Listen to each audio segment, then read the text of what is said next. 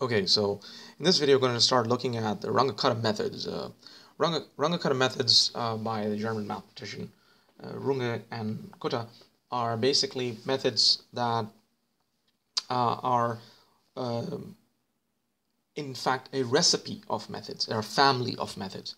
Um, so the the idea extends from, in fact, Euler's method, which just looks at one point uh, for approximating the derivative in fact, uh, the step from uh, for from xn to xn plus 1.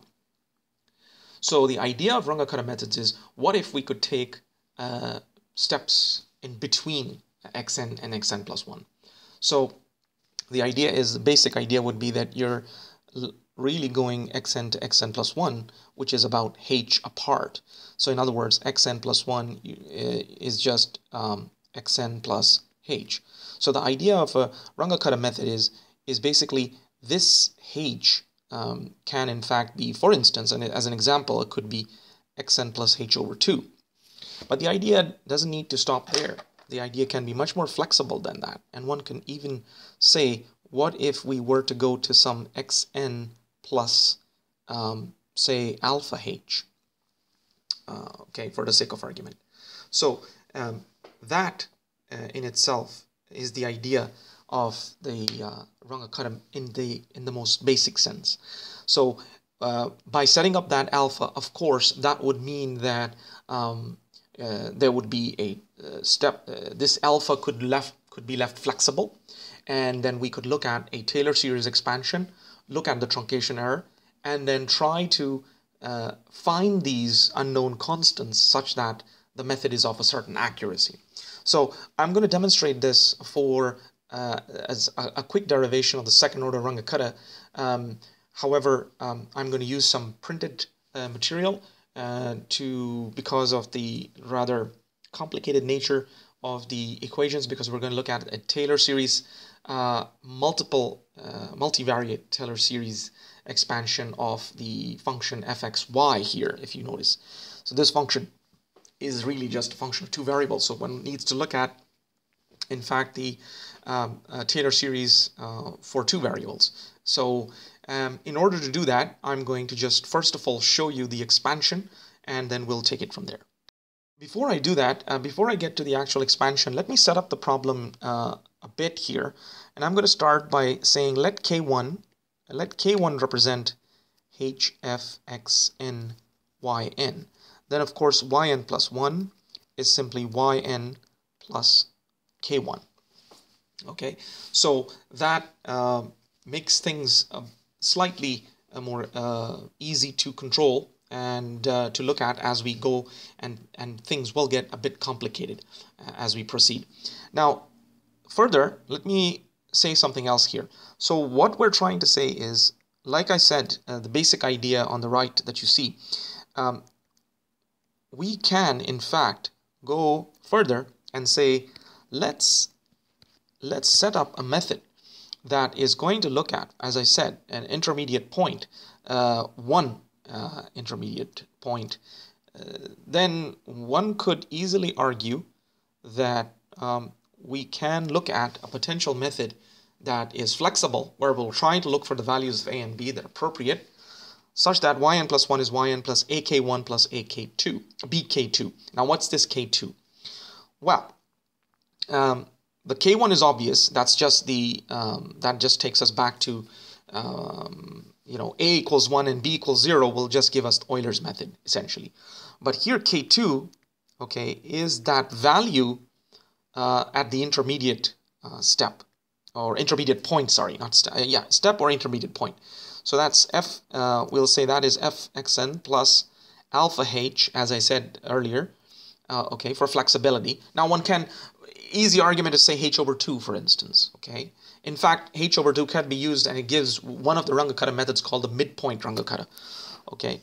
But um, I, am going to go and say, uh, let xn, so xn plus alpha h, we'll keep it flexible, and that gives us a yn plus, of course, some beta uh, k1 times k1.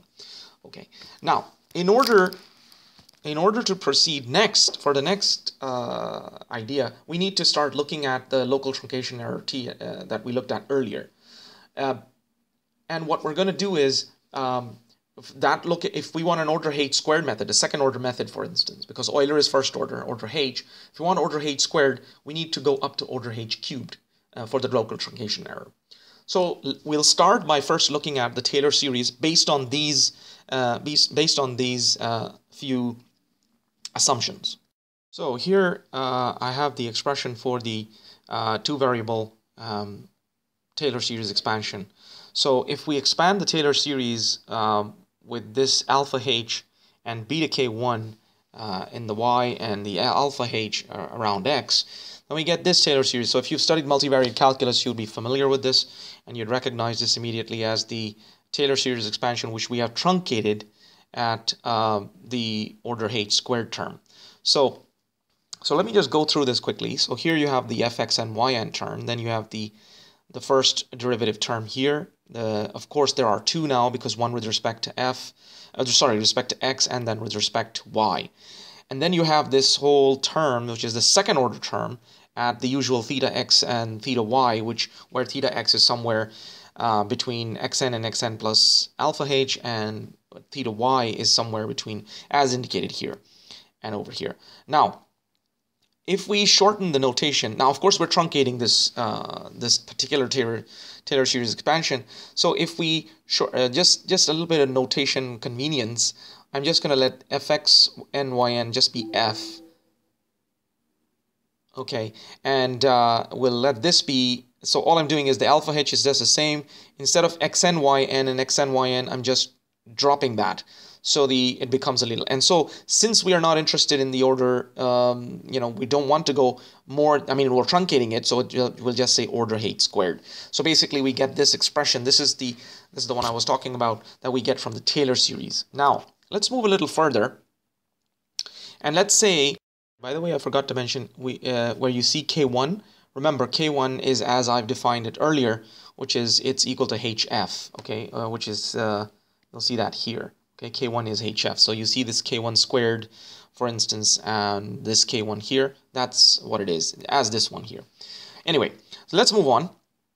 So then now, uh, based on this value of, uh, uh, if we put everything together into our formula uh, in here, so we're going to put the K1 value, which is HF, and K2, which is HF into this, which where this is equal to this value here, we end up with the following. So we get this. Now, I deliberately left out the uh, order h squared term you see here. I'm going to put that here, but let's have a look at what will happen to that. Now, as I multiply by bh, that will not be an order h squared term, in fact, anymore. It'll become an order h cubed term now.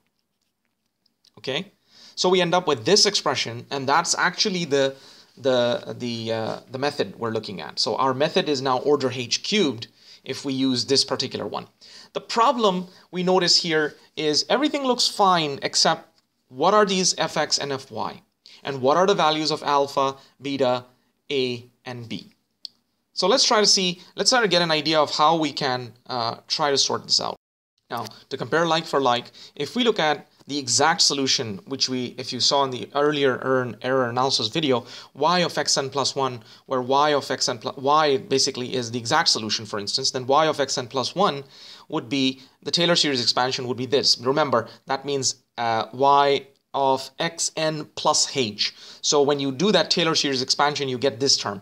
But we won't stop at uh, h squared like last time. We'll in fact go up to the uh, order h cubed term, in fact. So we go to the second derivative, in fact. So we last time, if you remember, stopped uh, truncated at this point, okay? And we were saying yeah, this was theta y uh, y double dash of theta, and we stopped at that point, and this was our order uh, h squared term. So here we're going to say, or this would be our order h cubed, up to the order h cubed term, which we're truncating it at the second order term, in fact. Okay, so this can be, of course, uh, rewritten as on the basis that, well, well this uh, is yxn, no problem, uh, but some things can be replaced, like y dash xn, for instance. Now, y dash xn, by definition, uh, if you remember, um, the problem we're trying to solve is in fact uh, h f xn y of xn. So we can replace that here. Plus h squared over 2 and if we in fact take the derivative of this um, in other words what we're saying is that uh, here now if you look at this term if you look at this term this is basically the y dash term which would be uh, f of xn so let me just uh, put a little arrow here and say what is what's happening here? This is really just f uh, of xn yn okay of xn and we're taking the uh, d by dx of this. So d by dx of this. Now this is a multi uh, we'll need to use the chain rule here. And as we use the chain rule the way it works out is of course we'll do the partial f by x term okay of uh, xn and y of xn okay? That's the first thing. Basically what it is is truncation error. Remember as we did before, yxn plus 1 minus yn plus 1. This is the exact value minus our approximation, which would be then, of course, equal to uh, yxn uh, minus yn, okay, and plus, of course, the terms uh, which come from the formulae, as you've seen above here, which is for yxn plus 1, and up here uh, for uh, yn plus 1 okay? Uh, so there's the yn plus ahf. So you'll see that here it is uh, there's the yn and you'll see here uh, the terms uh, the, the, the, the minus here and that's collecting the a plus b together and so on. Okay so which is collecting the yxn and yn terms okay? So now as we then proceed uh, from this and if we, as before, in the earlier uh, video you saw, if we say yxn is equal to yn, which means there is no error in this particular error, thus leaves alone, uh, uh, the, so the truncation error then falls to only this. And this is the, this is the most important thing that you need to uh, look at here. This, in fact, gives us an entire uh, uh, interesting um, scenario, which is, in fact, outlining a method for us as to how we can develop even higher order methods. It would require the same thing, but instead of going order uh, h cubed, we'd go order h4, for instance, and order h4 here.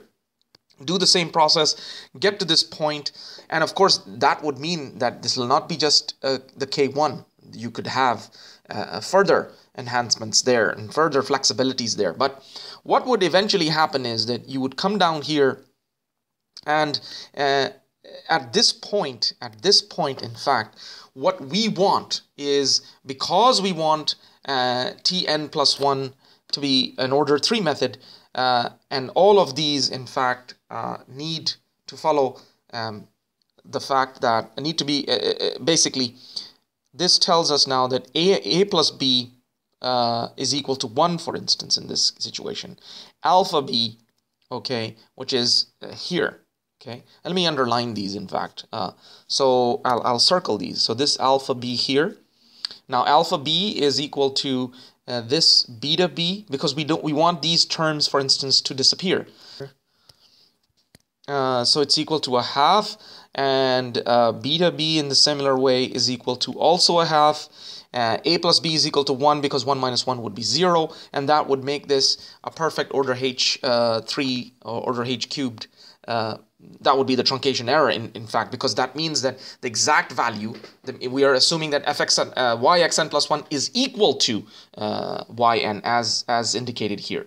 So that would mean that we should get rid of everything except the order h the h cubed term.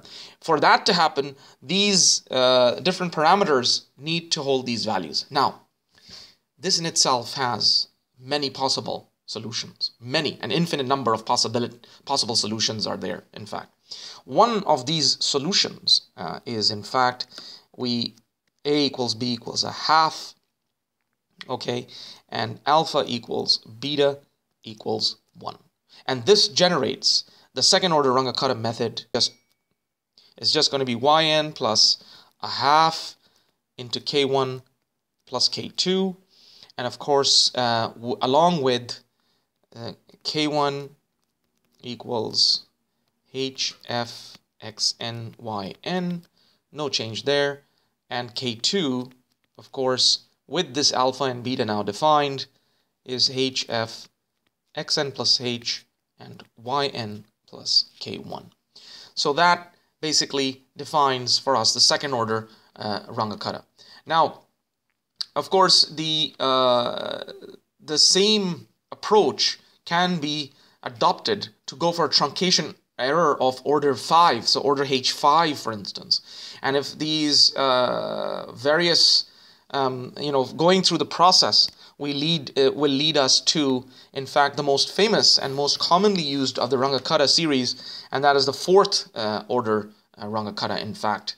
Okay, and that uh, is, I'll define it for you here now.